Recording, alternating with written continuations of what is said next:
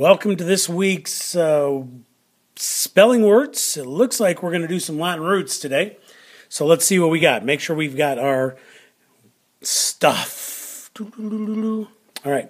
Make sure you have your beautiful glue. I forgot to stick my pencil in there. So make sure you've got your pencil ready because we're going to do some writing. Scissors so you can cut out your words. Make sure you've got your, ooh, looks like in my uh, zip top bag, I got some words in there from last week. I better get rid of those. All right, since I've got them all written in my spelling book that you're going to need, make sure you have that ready. All right, and don't forget your spelling words. So, let's get to cutting. All right, so it looks like, as I look at the top up here, it looks like we're going to do some Latin roots. Um, ooh, oops, I cut off the S on there. I think I'll survive on that though. Looks like we're going to be doing some interesting words because they actually have two different spellings, but they're meaning the same thing. That's what is. Right, and so, we got to cut off this top up here. And like I was saying, we've got some words here flect and flex, mis and mit. We're going to have to look at those because there's specific things that happen. They actually mean the same thing, but in some um, situations in our language, it gives a form of, um, how do I say it, um, kind of a unpredictability should or no i shouldn't say unpredictability because it's predictable what's going to happen and i'm going to show you what it is but what's interesting about it is that it is a an unusual situation um, when we put those together. So we'll look at these. All right. So make sure that you're cutting your words out. You can either cut them out before, you can cut them out while I'm cutting them out. Hopefully, you're about as fast as I am. Because if you are, it'll only take you about, if you look at the time, we're about two minutes in as I've been cutting. Maybe a little bit longer, but I figure you should be able to cut out your words and get them all put into uh, out around in probably about three minutes. So, all right. So let's see what we got here. I'm just trying to get all these written and make sure you put all your words out so you can see them all. That makes it so much easier as we are trying to write our words because I want you to find the word and I want you to pick it up. I want you to put it kind of like what I do and I want you to write it just like I do. That way you have all the words down. All right? So let's take this title that we have up here and let's put that up at the very top and then we'll look at what we got. Looks like we're looking at Latin roots, like I said before. And it looks like we're doing fract, flect, flex. These two are similar. Ject, mis, and mit. All right. So as we talk about these different things, we'll uh, we'll write them down. We got to find out what they mean, though, also. So let's look at here. We're going to write this out. I like to leave a couple lines because this one we're going to write our definition. This one, we're going to write our word. So let's write fract, underline it.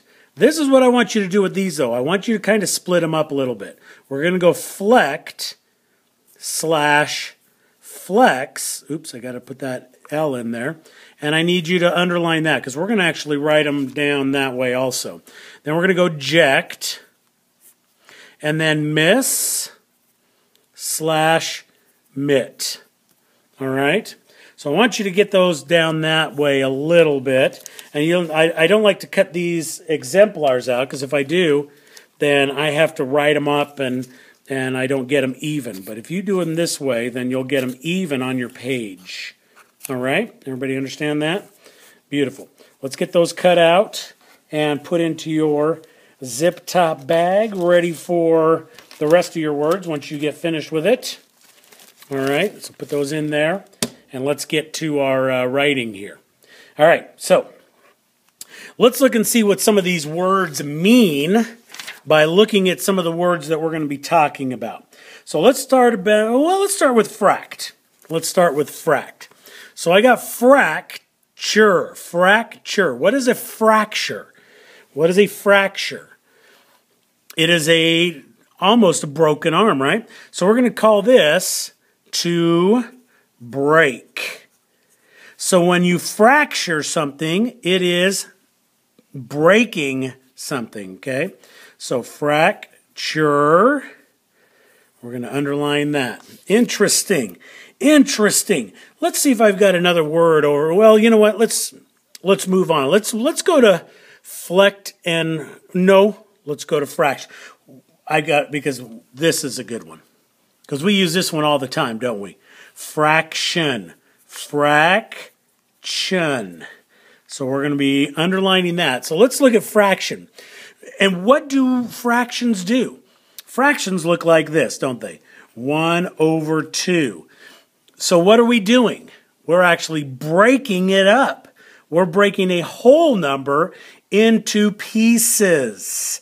So half is broken something in that, so if we got a circle and we cut it in to two pieces, see there's my two, that's how many pieces I've got on here. And if I only shade in one, I've broken this whole thing into two pieces and I'm only talking about one. So that was a fraction to break. Isn't that interesting? We're doing a little math when we're doing language. Wow, interesting. All right, so let's look, at, you know what? I'm going to skip this one for a second. Just for a second. Let's go over to ject. Ject. And let's talk about reject. Reject. When you reject something, what do you do? you don't want it anymore, right? But this is interesting because when we reject, it is actually re means what? What does re mean? To do again or uh, once more? Um, behind? So we do it again, we go back and we do it again. We go back. So when I reject something, I'm sending it back or I am. Ject means to throw.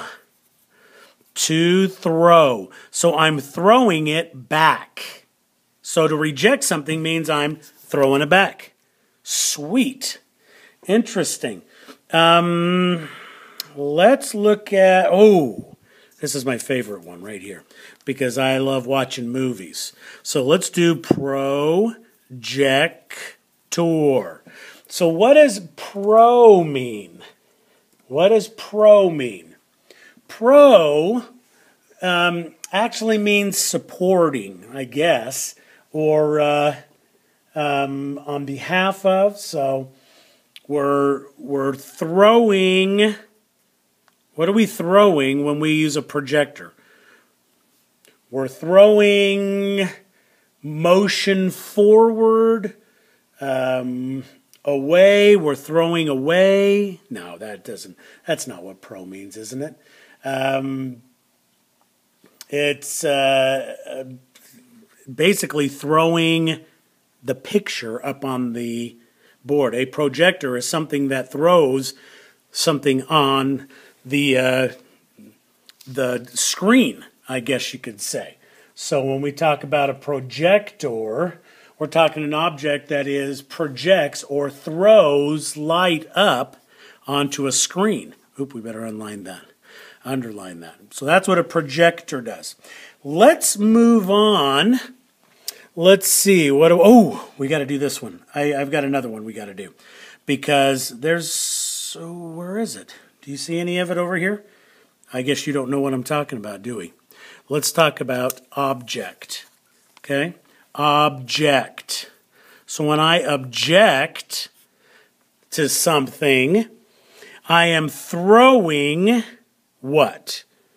I am throwing what? What am I throwing? Anybody know? Anybody know? When I throw something, I'm actually throwing something open. Um, I, and when I do an objection, because shun actually means the nature of throwing against. I'm throwing something. And what I'm throwing against the act or result of throwing something is I'm throwing a verbal point against somebody. I'm objecting to what's going on. Isn't that interesting? All right, we better get to these other two words because we're I, am really wasting time on this. Okay, let's go to transmit. Here's transmit. When I transmit something, I'm sending something over or across, because trans means across. Mit and miss actually means to send. So I'm sending something. When I transmit something, I'm sending something across like wires or wireless, something like that. And what's interesting is when I do transmit, to do transmiss, when I change the T to an S, and it actually makes it trans, oh, you know what? We better cross that out. Cross it out. Let's go underneath it. Transmission. And the interesting thing is, is that when we go transmit, when I add an I-O-N to it, what happens is I have to change that T to a double S and add an I-O-N. And that's kind of like what I was saying a little earlier, that it's a little interesting that it is a um, oh, what do you call that? Uh, it's it's um, unusual. That's what I'm trying to say. It's unusual, but it happens. It's predictable because every time you see a T, then it's going to do that. So when I look at another word, let's do permit. Permit. When I do the S, I put per mission. There it is again. I change that T to an double S and I add the I-O-N. So whenever you have an MIT at the end, all you have to do is change it to a double S and you're good. All right, so let's do uh, reflect. Reflect. And flect actually means to Oops, where's my. Oh, sorry. I moved my paper. I'm weird. Flect or flex actually means bend. So when I reflect, I'm bending it again. So I'm it bounces off of something, so it bends again. So that's what a reflect. And a reflection is the act of bouncing that back. So, and then we've got reflex is a bending back again type of a thing. So when I have a reflex, it, I automatically do go, go back to something. So, interesting. Um, so what I need you to do is finish these words up go ahead and write all the ex, the rest of the words on. I want you to just pay attention to this M-I-T-M-I-S about the transmit transmission and think about that because that'll help you in some of your spelling stuff that you're doing. All right? Get this done and we'll talk to you later. Make sure you get your work all done. Write it all out. Make sure you're cutting it all up. All right. See ya.